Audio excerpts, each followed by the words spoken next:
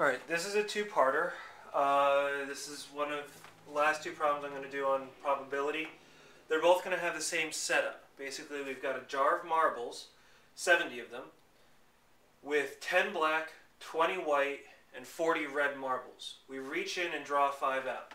Now, I know this is a jar of marbles, but this is really no different than a deck of cards where I'm dealing five out. There are 13 of the same suit, there are four of the same type. It's, it's basically the same type of problem. Now, I'm going to be doing two different probabilities, each with a different set of circumstances. The first, I think, is a little easier. So, the first is probability that there are two white and there are two red. Now, the way we would write this is the, is the P that W equals 2 and R equals 2. That seems like a logical way to write it. Now, the way we would do this is we would first figure out how many ways can we draw white marbles. So there are 20 of them, and we're choosing two of them.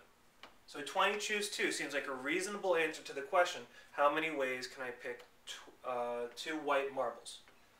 Now, how many ways can I pick two red marbles? Well, that's going to be 40, choose two. A larger number because there are more red marbles. Now, we're choosing five marbles, and I've already spoken for four of them. So, we need to, to choose another marble. But Here's the catch. We don't want it to be white, and we don't want it to be red. If we had another color, then we would choose the total number of non-white and red marbles. Well, here that's only one color, which is black. So we're going to do, I'm going to write it as 10 choose 1. But you know that 10 choose 1 is 10, and that there's only 10 other options for our, our total number of ways to choose marbles. And we're going to divide this by our, the size of our sample space.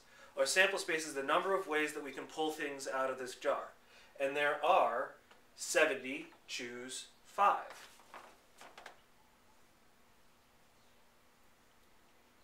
Now before I actually run this calculation, I want to point out the symmetry. Uh, if I add up all the numerators, not numerators, but all of the n's of these n choose k's, they come out to be 70. That's because we're accounting for all 70 marbles in the pot. When I add up all of the k's in the n choose k, it comes to 5 because I'm taking account of every marble that I'm drawing out. So the symmetry here is reflective of that, that we're on the right track. Uh, the numbers actually say that the probability of this exact event is going to be about 0.122 or 12.2%. And you can plug that into your calculator. I would never ask anyone to do that by hand. This number alone is gigantic. Um, so just to recap, this one event, two white, two red, is given by this expression and it comes out to be 12%.